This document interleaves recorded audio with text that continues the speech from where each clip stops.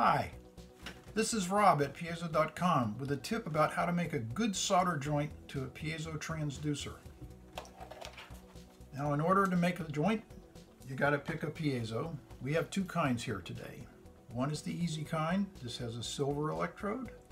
The other is the more difficult kind that is typical of the type sold by Mide.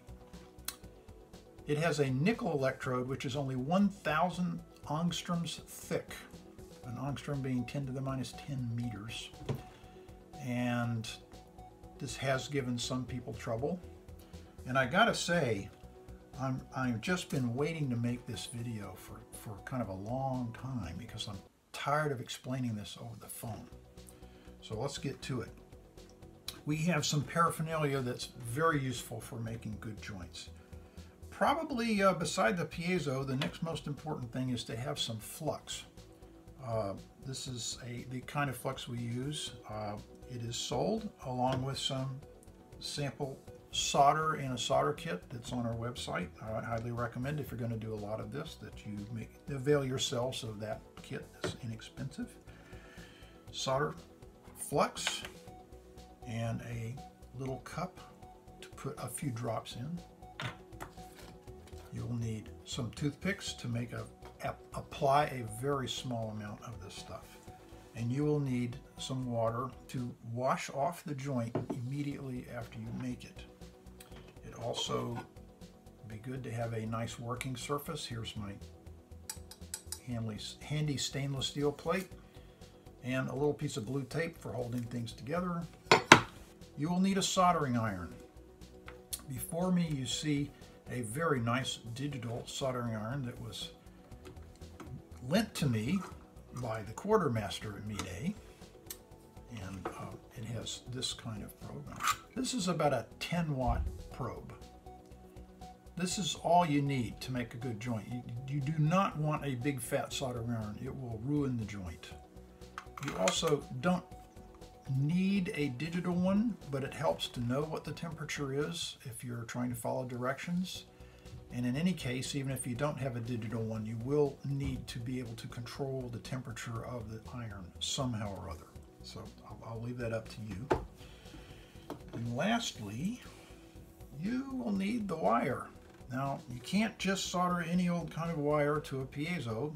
If it's too fat, it will be, it's, it's stiff, and when you pick it up afterwards or stress it in any way, the wire has a lot of leverage on that tiny joint that you're making, and it will break the joint.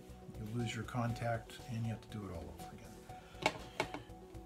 This is about 32 gauge wire and that's about right for most piezo projects. Uh, you may, in the special cases, you might need something thicker, but this is the best stuff. It's very, very flexible.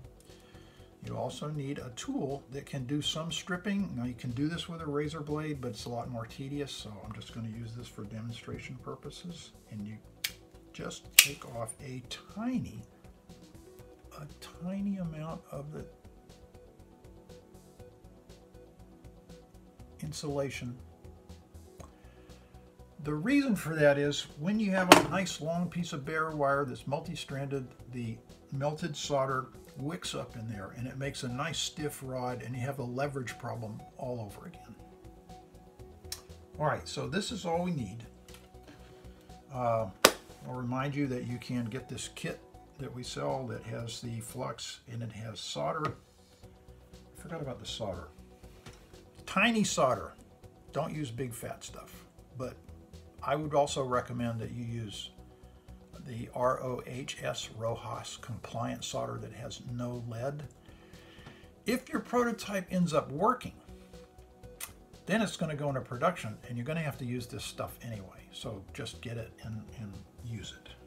Uh, there's nothing wrong with any of the joints it makes. It's perfect. Uh, it works just as well as the old tin lead solder does.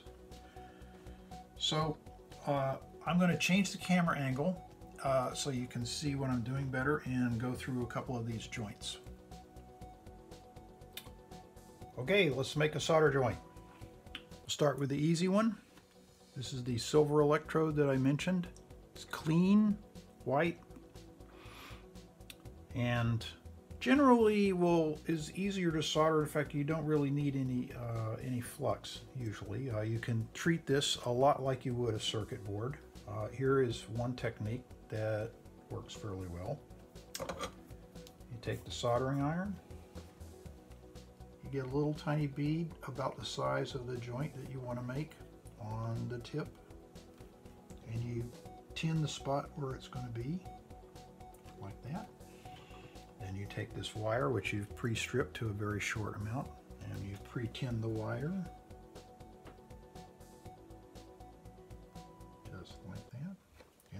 Touch the wire to the little blob on the piezo, and that's it.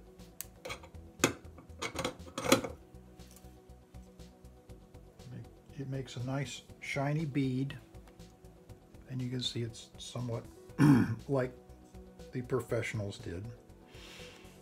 And it's a good joint. And that's a lot like a circuit board, and you depending on the the flux that's inside the solder.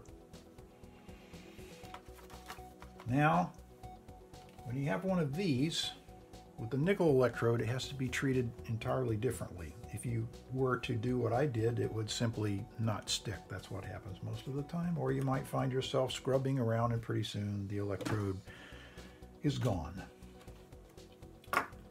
This piece is of piezo is very lightweight and it definitely needs to be held in place just a little bit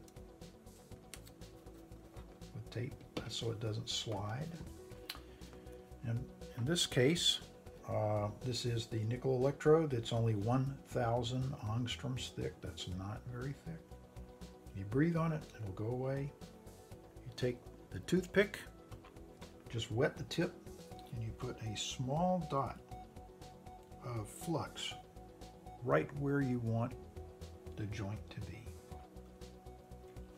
Then you take your wire and you strip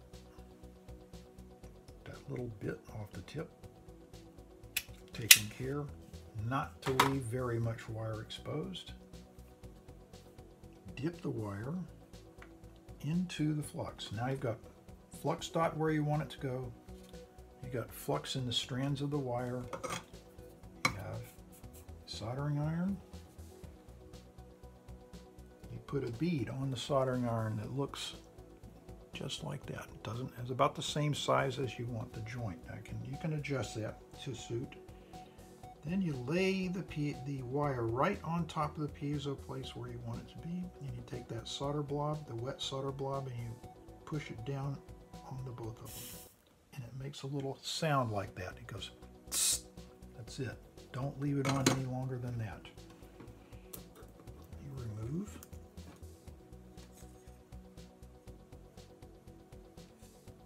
take a look at your work immediately in the water. Now, if you're in the lab, you don't use a cup of water. You can if it's on the bench. If you're near a sink, you can put a vessel like this. Put your multiple pieces in there and let water dribble into it for about 15 minutes. Get it, get it good and clean. Purpose of the water is to stop the action of the flux. It is a mild organic acid. It's water soluble. It's very safe, but it's not safe for electrodes. If you leave it on your electrode, it'll eat it away. Always, always wash your joints as, as soon as possible after making. So there you got it. This is the whole method. So, that worked out pretty well. Now, you can make joints just like that right in your own laboratory. And don't forget, in your exploration of Piezo World, if you have any questions, get in touch with us at piezo.com.